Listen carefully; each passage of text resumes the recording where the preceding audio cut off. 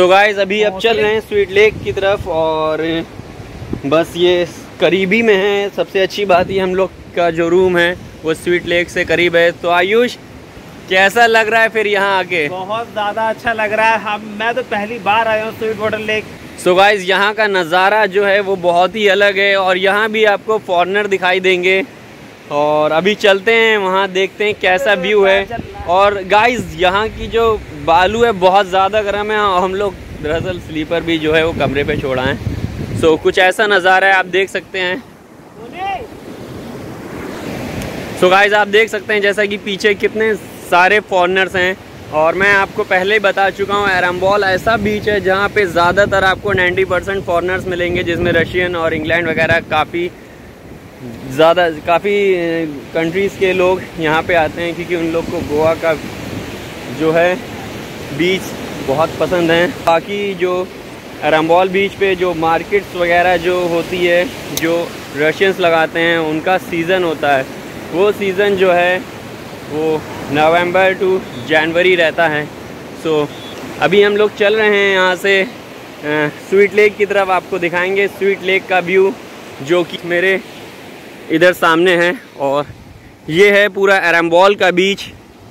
ये एरम्बॉल का बीच है। हम लोग एरम्बॉल से इधर आए हैं स्वीट लेक की तरफ़।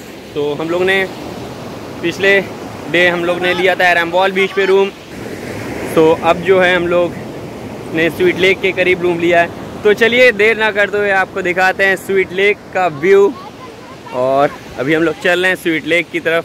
सकते हैं ये स्वीट लेक और ये काफ़ी आगे तक गई है। और बताते हैं, यहाँ का पानी गाइस मीठा है और आप देख सकते हैं यहाँ कितने सारे फॉरनर्स हैं। देख सकते हैं यहाँ हर जगह फॉरनर ही फॉरनर्स हैं। कहा जाता है यहाँ का पानी मीठा होता है। आयुष आओ।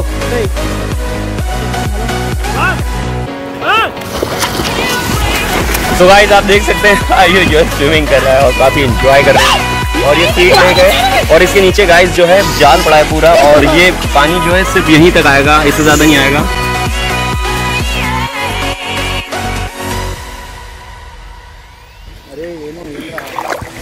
तो गाय भी रशियन जहाँ पे आते हैं हेलो ब्रदर अबे यार अजीब लग रहा है बिगड़ गया यार। तो कैसा लग रहा है? आयुष स्वीट लेक में आके तुमको? अच्छा लग रहा है यार स्वीट लेक में आ चुके हैं। बहुत बड़ा सपना था। हम लोग बहुत सारी वीडियो देखते थे यूट्यूब वगैरह पे। तो आज तो अभी समय स्वीट लेक में है और पानी जो है गाइस इतना ही गहरा है। इतना ऊँचा पहाड़ है। तो ये बीचों बीच में बनी है स्वीट वाटर लेक और यहाँ पे काफ़ी फॉरनर्स आते हैं। अपना टाइम स्पेंड करने के लिए। है ना दबाग और आप देख सकते हैं उधर काफ़ी सारे रशियंस हैं। सो गाइस अभी एंजॉय करते हैं और नहाते हैं मज़ा लेते हैं स्वीट लेक का तब तक के लिए कहीं ना जाइएगा।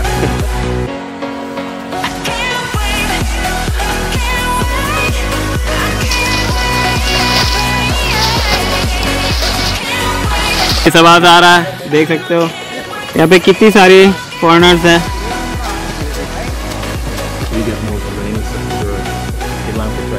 तो गाइस इस समय अभी हम लोग बाहर निकल रहे हैं स्वीट लेक से।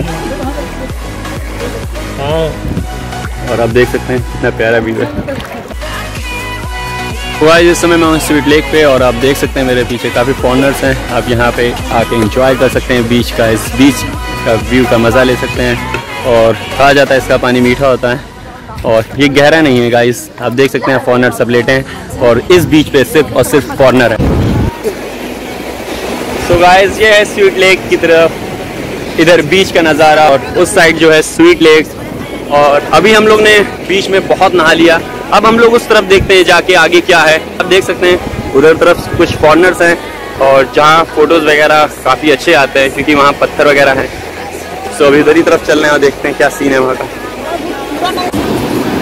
तो गाइस देख सकते हैं ये है क्रैब मैंने पकड़ रखा है ये है क्रैब ये समुद्र के किनारे आ जाते हैं और पैरों में काट लेते हैं और ये भी ज़िंदा भी है गाइस आप देख सकते हैं अभी बिल्कुल आया अभी हम लोग ने पकड़ा इसको।